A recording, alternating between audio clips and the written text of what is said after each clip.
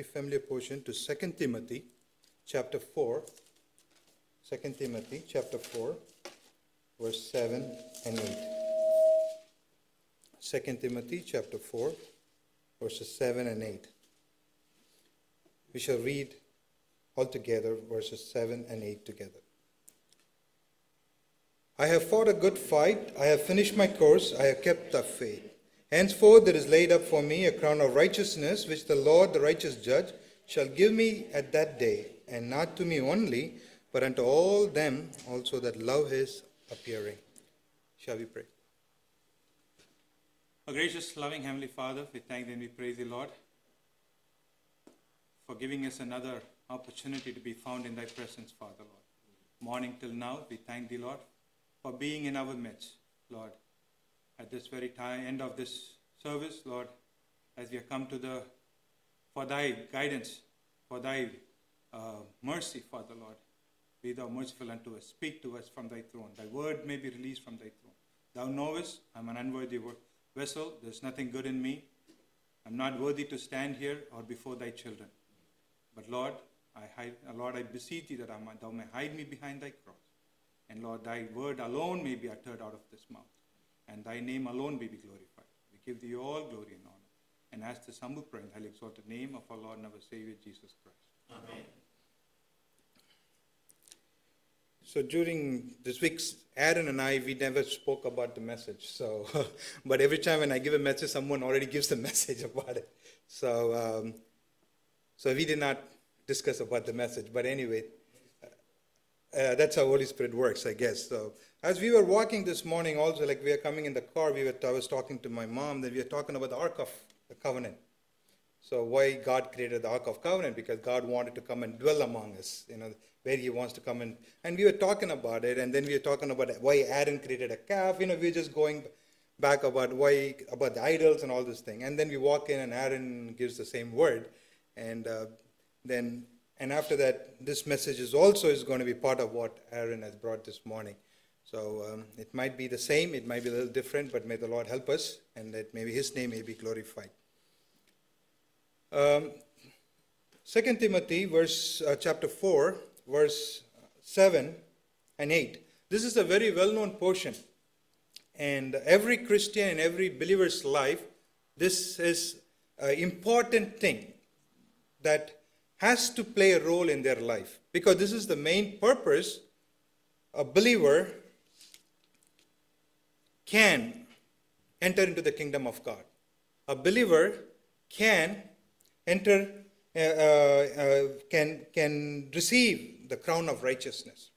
So, Paul, if you look, go back to the life of Paul, we all knew, we all know how Paul, how Paul was transformed.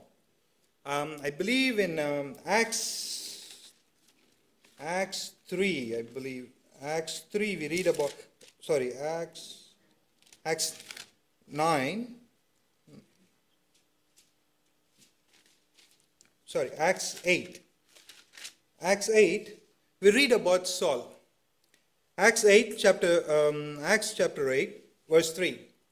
As of Saul, he made havoc of the church entering into every house and hailing men and women, committed them to prison. So this was the Saul's nature. This was the uh, Saul's position. This is what he was doing. He was watching Stephen being stoned. But then God has transformed this treacherous man into a vessel of God's ministry. That we see in 1 Timothy um, Paul uh, is actually giving a testimony about himself. 1 Timothy chapter chapter 1 chapter 1 and we'll read from verse 12.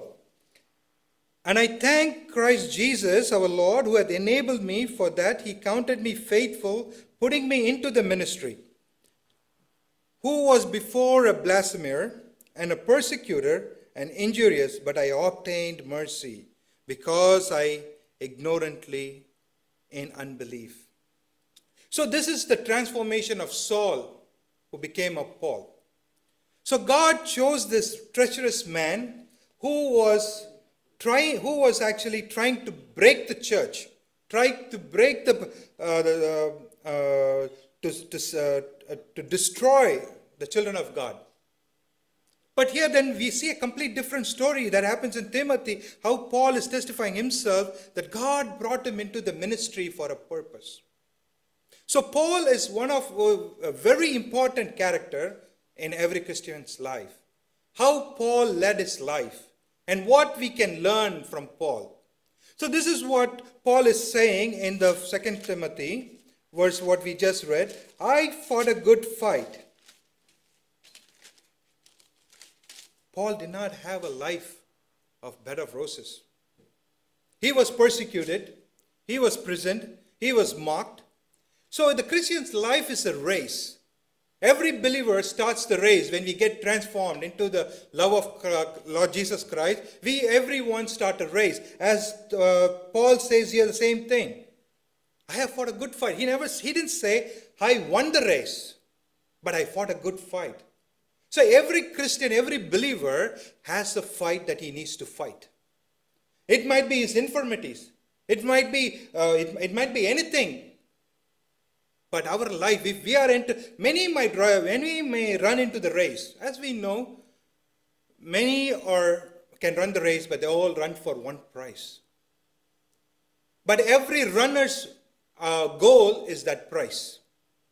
But in a Christian life, we all run a race, but our goal is finishing the race. It's not where you started the race, how you run the race, and how you finish the race. That's what Paul is saying here. I have finished my course. What is our course? What is our goal today? Is the price our goal or the kingdom of God is our goal? Christ Jesus is our goal. That's what Paul is saying.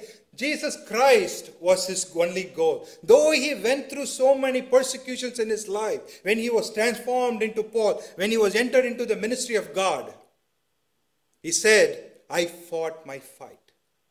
Every individual, every children of God has a fight that they have to fight. They cannot hide from the fight. If you are hiding from your fight, if you wanted to, uh, if, if you do not want to have that fight in your physical life, you're not fit for the kingdom of God. That's what Paul is saying. Many may run the race, but some may lack. Some may fall back. Some may get scattered because they get too much occupied, carried away with the world. The things of this world may come and, and separate them from the love of God, from the goal that God has set before them. The cross, Lord Jesus Christ is the, is the example that was set before us. But Satan tried to rob us from that race. This is what our every day to day uh, fight is with our own self. Satan uses our own mortal body to, to, to stop us to attaining to our goal. So if we see in Paul, uh, in Philippians chapter 3, verse 4, Philippians chapter 3, verse 4, Paul is giving an example of why he was called into the ministry. What is the purpose of his calling? Uh, Philippians chapter 3, verse 4. Though I might, uh, sorry, uh, verse 3, verse 14. Uh, 13. Brethren, I count not myself to have apprehended, but this one thing I do, forgetting those things which are behind, and reaching forth unto those things which are before. I press toward the mark for the prize of the high calling of God in Christ Jesus. What is our calling today? What are we marching today? What is our goal? Is this, the, is this the high calling of God that we are marching for? Or we are marching, running the race because just, just because we are all are in the race, we don't, we, don't, we don't have any goals, what our race is going to get us to. Or we are just going with the flow. Those are the children of God. Those are the believers who get lost. Those are the ones gets robbed away who cannot finish the goal that is set before them. That's what Paul wants us to be reminding us on and, and uh, uh, reminding us about the race, how he has fought that race. 2 Timothy 4 7, I have fought a good fight, I have finished my course. Can we, or today, you and I, can we say that? Lord, I fought my fight and I will finish my course. Do we have that assurance? Like Paul, can we say that? But if you also look at Paul in second uh, in second Corinthians chapter 12, we often this is our this is our problem. This is what our excuses is as well. Uh, Corinthians chapter 12 and verse 7. Um, lest I, unless I should be exalted above measure through the abundance of the revelation, there was given to me a thorn in the flesh, the messenger of Satan to buffet me, lest I should be exalted above measure. Here, Paul is talking about a thorn in his flesh. What thorn is he talking about? It could be any thorn. We do not know. But God left a thorn in his flesh. And then he says in verse 8, For this thing I besought the Lord thrice. If, Paul was not worried about this thorn, if this thorn was not bothering Paul, why would Paul beseech the Lord for three times? And then did the Lord ignore him? Here you see in verse 8, he says, For this thing I besought the Lord thrice that it might depart from me. And verse 9 he says, And he said unto me, My grace is sufficient for thee, my strength is made perfect in weakness. This is the strength of Paul. This is, should be the strength of every believer in our life. It's not the thorn that is bothering us. Yes, every, every individual has a thorn in their life. It may be the infirmities that they're going through, maybe a physical problem they may be going through, maybe the, the mockery in the life they're going through, maybe the losses in the life they're going through. We may often think God has forgotten me. Maybe we often think that God, I've been pleading with thee, but you have left me alone. Yes, Paul thought the same way too.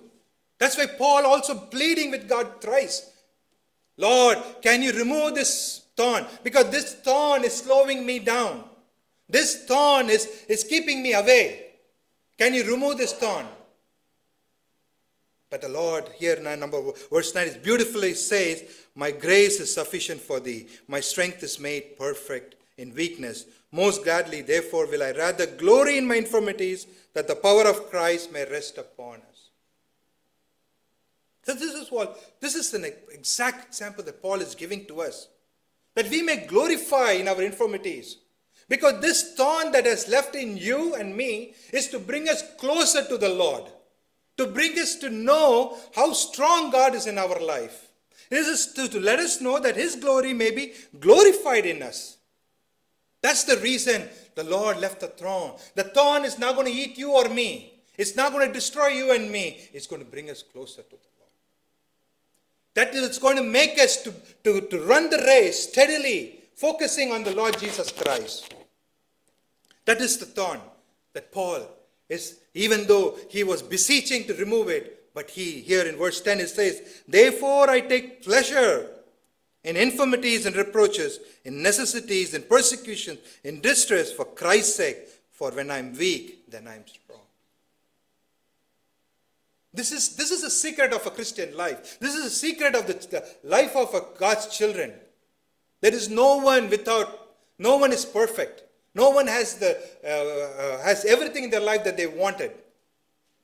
If we have everything in our life that we wanted, we don't need God. So that's why many of them were scared to run the race. Many of them stay away from the run. They all start together with, with, with a great passion. But as they go through, as they run the race, everybody fall back because they cannot keep up with the thorn. They cannot keep up with the fight. This is what they, our life has become. Our Christian life. That's what Paul is clearly saying. I fought a good fight. And he expects each and every one of us to be strong and fight the good fight so that the grace of God and the strength of God may be exalted and manifested in you and me. For that, everyone has to live with that infirmity. Whatever the infirmity may be, whatever the loss may be, whatever the, the problems may be, everyone has his own thorn. But that thorn is not going to devour you. That thorn is not going to destroy you. But of course, if you allow it, yes, it will. That's what happens to the uh, happens to the people who fall back. But if we allow God, Lord Jesus Christ, as our only goal, then, as Paul says, when I'm weak, then I'm strong. So Paul needed to be weak to feel strong. So we have to be beaten down to be strong. That's what we read also about gold and silver. Gold and silver has to be tried with fire. Unless it has been tried with fire, the, the, the glory of the gold and silver cannot be. Uh, if you read, I think it's in uh, 1 Peter 1 7. And also Matthew, uh, Proverbs 13, I believe. 1 Peter, if anybody has it. What? Trials of your faith, being much more precious than of gold that perisheth, that it be tried with fire, might be found unto praise and honor and glory at the appearing of So it has to be tried with fire, might be found unto praise and honor and glory unto the appearing of Jesus Christ. And also we read also in uh, Proverbs 13, um, anyone can help me? Proverbs 13, I'm not sure the verse, 13, 17, 13, 13, um, how gold has been tried. But anyway, uh, I can't remember that now. But anyway, 13, uh, one second.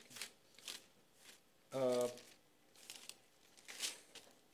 uh, 17.3, I think. Yeah, Proverbs 17.3.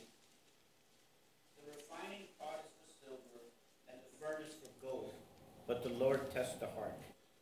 So the Lord tests us our heart, right? So how do how we are refining the gold and the silver? It has been tried with fire. It has been beaten. It has been it has been melted to remove the impurities of our from the gold and silver. Then it becomes a precious ornament. So that's what here we read in uh, uh, First, Second Timothy. We come back to Paul where he says, I have fought a good fight. I have finished my course. I have kept my faith. Henceforth, there is laid up for me a crown of righteousness, which the Lord, the righteous judge, uh, shall give me at that day, and not to me only, but unto all them that love his appearing. Who loves his appearing? The gold that silver with full of dirt appears his appearing? No, because it becomes worthless. So you are tried with fire, you are tried with all this infirmity, so that you may be appear as gold and silver, ready for the king, ready for the throne. This is the fight Paul is talking about, that he fought a good fight. How, is, how, how are we fighting today? Are we, are we still running the race or we stopped somewhere in the race? This is where it is. It's not about getting into the race, finishing the race. and if you see, in uh, secondly, secondly, a believer's race.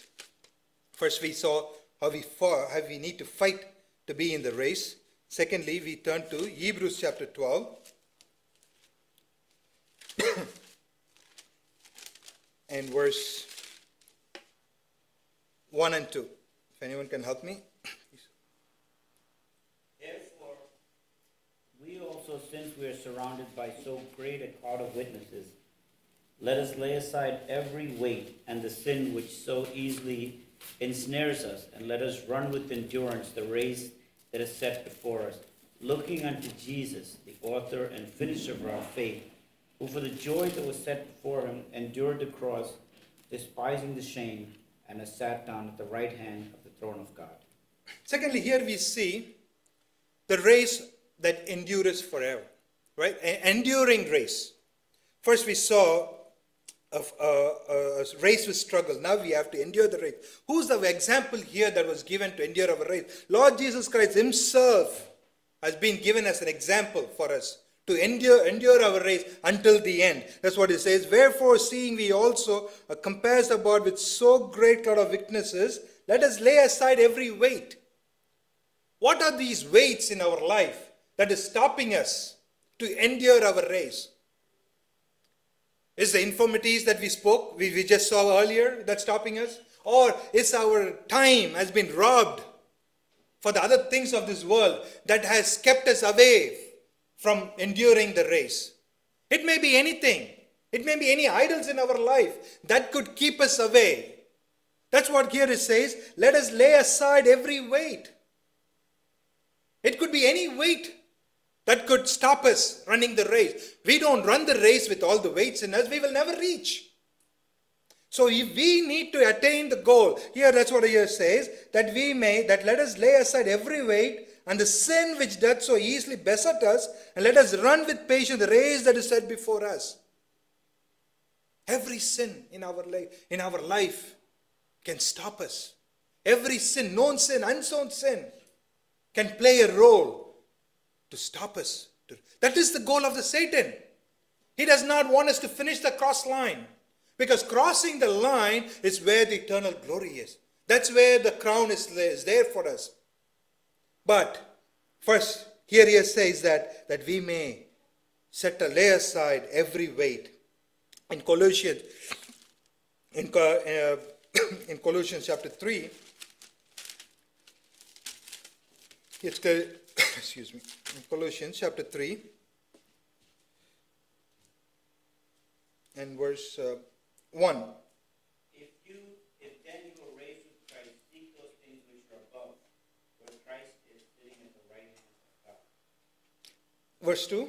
Set your mind on things above, not on things of the earth. Uh, go on, uh, verse 3 as well, sorry. For you died, and your life is hidden with Christ in God. And when, when verse 4, when Christ, who is our life shall appear, then ye shall appear with him in glory. So this is what the weight that we are talking about. What here it says, uh, where is our affection? Set our affection on things above, not on the things of the earth. That is where our weight comes. Because if our affection is, is everything that is around us, or if our affection is of the world, if our affection is of the material things of this world, that becomes a burden. Because we are more where our heart, where our, uh, our, our treasures are, that's where our heart will be. Right? If our, if our affection is on the earth, we don't want it to look up to the goal. Because we are busy, occupied with the things of this world. That's what he said. Let us lay aside every weight. If we're going to carry everything with you, we will never finish the course. And it'll be too late too late to, to, uh, to question ourselves why we are not able to com- complete the race. Because we had so much baggage with us. We have so much of love of this world. Our eyes was not, here it says that our affection on things above, not on the things of the earth. That's what, that's what Paul was also saying in that. Where is, how are we going to finish the course of our race? If our eyes are wandering all around, the path is not clear for us. Because we are too much, we are occupied about the things that, uh, the, that, that may not of the things that glorify God's name. It glorifies us, glorifies the person next to us, glorifies the things of this world, but not the glorifying God. If we are, if our eyes is set on glorifying God, all these material things disappears from our sight. Our goal is set straight. That's what here we read in Colossians chapter 3 thing. and now if we go back to Hebrews chapter 3,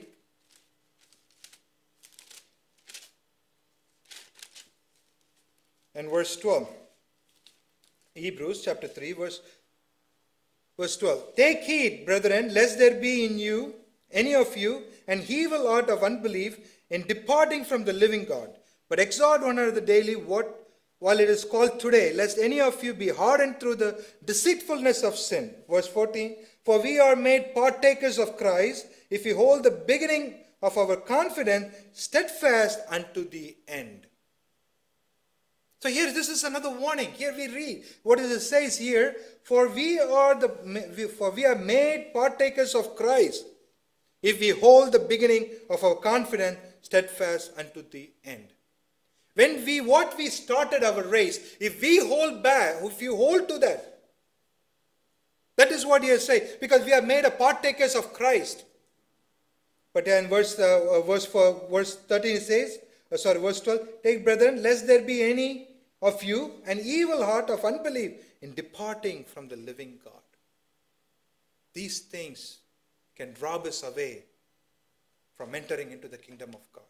These things can rob us away from getting the, the, the crown that is laid for you and for me. Not only for Paul, for everyone.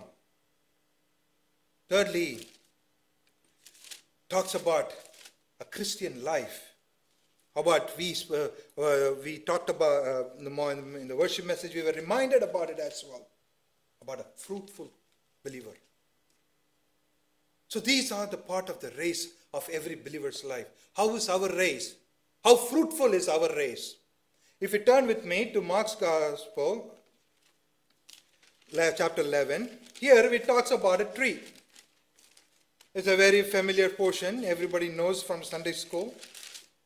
Uh, Mark's Gospel, chapter 11, verse 3. And uh, sorry, chapter 11, verse 12. Now the next day, when they had come up from Bethany, he was hungry.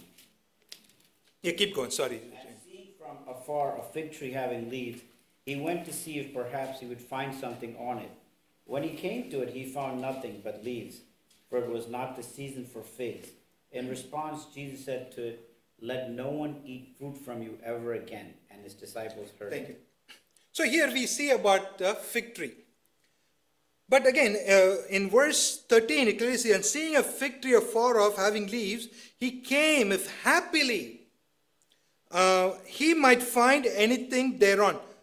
But this is this is not really talking about the fig tree. It's talking about you and me. It's talking about the believer. It's talking about a child of God. How are we? Are we like this fig tree? Green outside, but no fruits inside. Jesus coming to the tree with so much of happiness, seeing the godliness of you, your outside appearance. And when he comes to know you, you are a barren. There is nothing in you. But that's what God is clearly saying. He's cursing the tree. If you and I become barren, He's saying He's cursing that tree. He will curse you and me. It's a very strict warning. He's a gracious God. But if you and I not able to bring that fruit, you're cursed. That's what we read in Ma- uh, uh, Matthew's, uh, Matthew's Gospel, chapter 3, verse 10. Matthew's Gospel, chapter 3, verse 10. And even now the axe is laid to the root of the trees. Therefore, every tree which does not bear good fruit is cut down and thrown into the fire. That's it. It's cut down and thrown into fire. So this is this is the one that he's talking about. How many of us are living a life of a fig this fig tree? We look godly outside. God is also watching us about the hypocrisy in believers' life. If you see in Matthew's Gospel, chapter 23, Matthew's Gospel, chapter 23, talks about the Pharisees. 23 and verse 23 and verse 25. Woe unto you, scribes, Pharisees, hypocrites, for ye make clean the outside of the cup and the platter, but within they are full of extortions and excess. Thou blind Pharisees, cleanse first that which is within the cup and platter, that the outside of them may be clean also. Woe unto you, scribes and Pharisees, hypocrites, for ye are like unto a whited sepulchres, which indeed appear beautiful outward, but are within full of dead men bone and all of uncleanness. What a sad thing it is in a Christian's life. This is what we read about this fig tree. We may look so godly outside. We may fool others. We cannot fool God. This is why God saying, if that is our life, if it is, if it is our life in that way, we will not reach our course. We will not cross that finish line. We will be cut off. We will be cut off from the, from the congregation. We'll be cut off from the, the from the children of God. Certain people are cut off in, in, for, from for certain reason in our life. It's because God knows that are barren. They remove certain things from our life because God knows these are barren and He does not want them to influence you and me. So this is what God was saying. Here is this this is this may not be a season for the fig tree to bear fruits. But God's point is not the tree. God's point is you and me. That we may look godly outside, but if we do not bring fruits for the Lord, we are nothing and we will be cut off. It's a very, very, very uh, straightforward, he's saying that. And also, if you see in the same words, we talk about the temple of God. God in the Old Testament talks about He wanted a temple where He can come and dwell among us. He wanted to dwell among us. But if the God is not in the temple, it is just the four walls, has no meaning. There is no use. This is what we read in um, about Eli's children, Hophni and Phinehas. What happened to them? Ichabod, when the, when the ark of the God was taken, the, the, the glory of God was departed. I believe it's in 1 Samuel chapter 4. 1 Samuel chapter 4. Think 4, I think. 4. Uh, uh, verse 17. Yeah, let's. Verse 17 also. And the messenger answered and Israel fled before the Philistines, and there has been also a great slaughter among the people. And thy two sons also, Hophni and Phinehas, Or are dead, dead, yeah. and the ark of the God is taken. Ark of the God is taken. The ark, the God departed from Israel. Because of Hophni and Phinehas. Because of the children of God, the God's dwelling place can be taken away. This is what he's talking about in the same thing in Mark's Gospel, chapter 11. We read about the temple. When God goes into the temple, when he sees all those, all those dirty things, those, he sees all those businesses, he sees all those things that is verse 17, um, Mark's Gospel, chapter 11, verse, um, verse 17. And he taught and saying unto them, It is, My house shall be called for all, all nations the house of prayer, but you have made it a den of thieves. This is what happened in Israel. Phinehas and Hophni, this is what they did. They, they were priests. They were uh, they, they are the only one who can enter into the holy temple, holy places. They himself sinned. Because of their sin, God departed from Israel. What a great loss it is. And we also see in the same thing happened. Saul was anointed king. And we read in same First Samuel chapters 11, 12 or something out there. Saul was anointed king. But Saul did not wait for Samuel. Why? Because of his impatience. Because he took hands in his own hands, things in his own hands. Because God, no, God is the one who anointed him. But he, because of his self pride, because of his own, uh, uh, the, uh, he, he, because he disobeyed God, he did not, he did not wait. God actually testing Saul here. Why did God delay Samuel? God, there was a reason for God to delay Samuel, to test Saul. What this Saul is going to do here. But Saul took matters in his own hands. And then we know what happened. The throne was taken from Saul, it was given to someone, man after his own heart. God may take in your crown today. He may take my crown today. If we do not, if we do not uh, endure unto the end, your throne and my throne and your crown, my crown will be taken from us, given to someone. This is what Paul is saying here. In, the, in, in uh, 1 Timothy chapter 4, verse uh, 7, I have fought of good faith, but I kept the faith. How is your faith and my faith today? And also we see in John's Gospel, chapter 5, 15, we, we read this morning, chapter 15, in verse 2. John's Gospel, chapter 15, verse 2. Every branch in me that beareth not fruit, he taketh away. Every branch that beareth fruit, he purgeth it, that it may bring forth more fruit. And verse 4 Abide in me, and I in you, as branch cannot bear fruit of itself, except it abide in wine. No more can ye, except ye abide in me. If we do not abide in the Lord, we cannot bring fruit. Because we cannot ourselves bring the fruit out. God is the only one who can bring that fruit. How do we bring that fruit? John's Gospel, chapter 15, clearly says, If you abide in me, He is our temple. He is our, He is of the head of the, temp, the church. And if uh, we are the branches, if this branch does not abide with the tree, abide with the head of the temple, it cannot bring forth fruit. It will become like the tree with just bare leaves that has no fruit in it. And if we do not abide in him, that clearly says here, and also verse, herein in my Father glorify that ye bear much fruit, so shall ye be my disciples. So this is what every believer have to we understand that. That our ultimate goal is to bring fruit. Our ultimate goal is to reach that race. Our ultimate goal is to aim for that crown. And our ultimate goal is that God may be glorified in you and in me. Yes, the race that we are running will have many, may have many obstacles, many barriers.